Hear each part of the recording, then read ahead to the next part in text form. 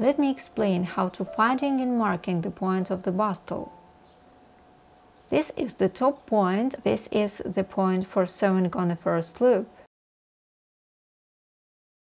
And it's the third point. If from this point to the top I'm measuring the length of the skirt, I will get this point for first loop. Then I connecting the loop with this top point. This top point for sewing on the first button. It's the most simple bustle. Let me explain again. From waistline measuring the length of the skirt. And the same length measuring from bottom line I get this point.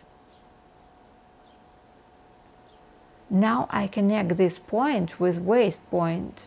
It's the point for sewing on a first loop.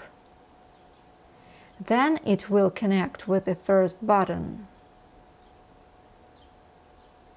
But sometimes it's not enough. Sometimes for a half circle skirt needs three loops and three buttons.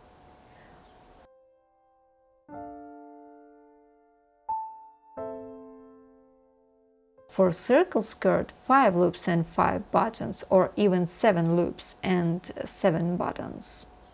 It depends from length of the train, more lengths, more loops and buttons.